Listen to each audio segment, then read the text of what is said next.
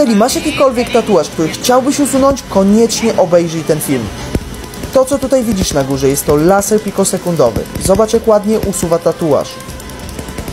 Najłatwiej usuwa się czarny tusz.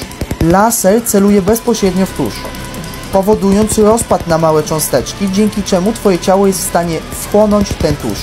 To, co widzicie tutaj na górze, jest to specjalna chłodziarka medyczna, która poprawia komfort zabiegu.